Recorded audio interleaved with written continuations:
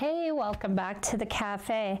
So today I want to talk about chiseled edge markers and uh, all of these were made with alcohol ink markers but you can make uh, any chiseled edge marker will work permanent whatever you've got handy will work great.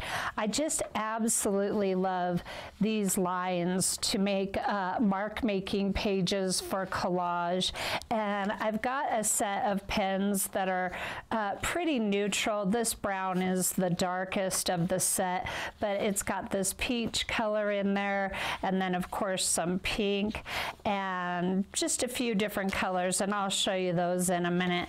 But it's really neat, all the different widths of lines that you can get with the chiseled edge markers, and then of course you can mix your colors up, and you can do intuitive scripting.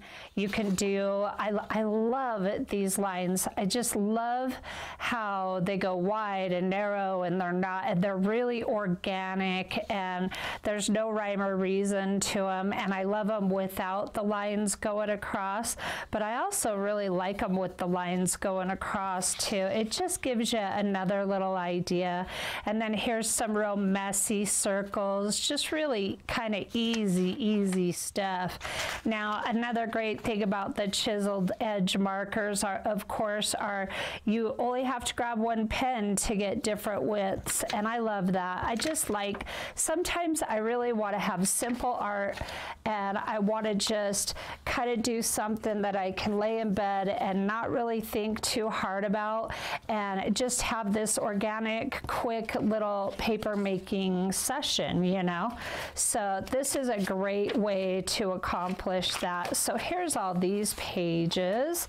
Look at how neat this one is. I just love being able to um, make all these marks. Now I used some, uh, the key for me is to use light colored paper. So I find coffee stained paper to be the best. And then I had some old scrapbook paper that I was, uh, that I coffee stained uh, just because I had it handy. So uh, look at all the different lines you can get from these pins. It goes on and on and it's very simple.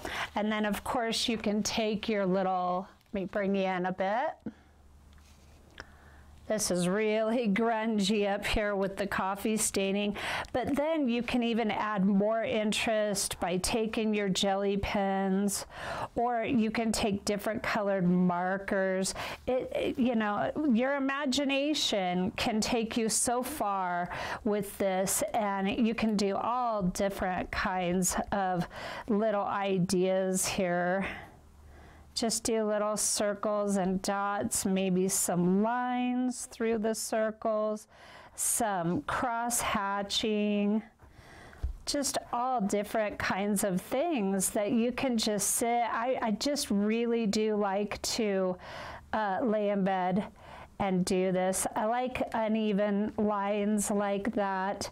I love the spirals. And then of course you can come in and mark these others. And I like to go over the edge. So it's kind of my way of being a little bit rebellious. You can just, uh, you can stay totally within like that and then make them uneven and sloppy, or you can go, of course, really clean. I'm not very good at even and straight and clean, but I'll do my best here there. You can do like that, which they're all crooked. Isn't that funny? So uh, yeah, you can do just so many things. And then look at the difference, how plain everything is down here and how quickly you can spruce stuff up. And then the contrast you get with the pins is really cool and fun. So I wanted to show you a couple other examples. Now, this is a little video I did of um, watercolor and intuitive mark making. And I used a permanent marker doing the same thing with the chiseled edge pens on, on this little sample here and on this little sample. And then I just added some white marks with my jelly pen. And uh, I, I just love to add the interest of the white on top of the black. I think it really makes a difference. And then these are fun little um, lightning bolts that I kind of wove behind the watercolor and just played around with some different ideas. And then here's a little tree, landscapey stormy kind of little example sample piece. And then this one I wanted to just do a little power line going through the image. And I ended up putting these uh, fun little marks on the bottom, just, just playing around, you know. You can play around and come up with some of the neatest stuff. And then this one I wanted a little tree and then I just did the lightning in front of all the marks. So the difference is is pretty neat on the lightning. So it just it serves for inspiration and ideas and different things that you can do. Now back to this chiseled edge. I'm going to show you the pens i have real quick for this. Now these were made with permanent and i misplaced that pen. So um, any chiseled edge will work so let's talk pens for a minute. These are all Artist Loft, which Artist Loft I get at Michael's, and uh, these are artist quality alcohol based ink markers here. And it's a very neutral set, and they're really cool because you get, here's the colors in that set. I really love neutral colors, and I, I really like the pink. I'm not a big pink person, but I do like the pink and uh, adding the white adds a lot to it. And if I, I, I should have had one handy, but you can add black marks as well to these and just really um, do these up. So at the end of the video, I will stop it and grab a black pen and just do a quick few little black marks on top of the pink. But the great thing about this little set, and it just comes in this little six piece, and they have all different kinds of sets, the Artist Loft. You get your chiseled edge and you get a nice big one and then it's it's got even sharp um, edges. It might be really tough to see but uh, there's so many little edges on this chiseled edge and I think that's really cool. And then you of course get the brush pen tip and you can get some really nice um, intuitive scripting and all different kinds of fine line making with the brush pen tip. So there's that set. And then these I picked up. I, I got really lucky and picked these up at Tuesday morning. And this is another quite neutral set, mostly grays in this set, a bit of yellow ochre, a bit of melon yellow, and then pastel peach and bronze. And then the rest are all different shades of gray. And uh, th these came from a store called Tuesday Morning, and they're local for me. And I guess the brand of this is, I'm guessing it's Firefly, which is a really cool little logo here. So you could probably find these online if you just looked up Firefly um, alcohol markers. So that's what I used for uh, all of these. And then of course, I've got some Spectrum Noir. Why do I struggle with certain words? S Spectrum Noir. Okay, I'm just gonna call it that. I could be wrong. It's okay. It doesn't matter to me. It's fine. but uh, these are, I had misplaced these. I'm really good at misplacing stuff. I'm sorry to admit it, but it's true. I'm good at misplacing stuff. But I found these. So I'm gonna use a couple of these today just to show you how they look too. And you get this big chiseled edge. Same thing. There's a lot of different cut marks in this chisel so you can get some really fine edges. And then these have just kind of a little pen nib. It's not really a brush pen, but it's a nice little pen nib for really fine line marking. So these, of course, are also alcohol uh, based pens here as well. So let's just go ahead and do a few of these and give you a few ideas of what's possible and hopefully spur some inspiration in you. One more thing for this finish. Uh, the more coffee you drink and do this, the better. if your hands are shaky, which my hands tend to be sometimes, whether I've had coffee or not, um, then this finish will come out even better for you. So that's a little comic relief along with the art tutorial today. So now I've got, these are from the grunge coffee stained video that I just did. And these are these really nice uh, extra large index cards that I got at Walmart. And then these I did some extra spatter and mark making to them. So I thought they'd be fun to play around with. And then here's a book page with some white gesso on it. So I thought that would be fun. And we're just going to do a couple. Now, since I'm using alcohol ink markers or any kind of uh, marker work, I always like to have some uh, poster board handy for underneath. And I'm going to go ahead and use dark enough colors today that you can actually really see what I'm doing. So let's go ahead and just play some music and get into this.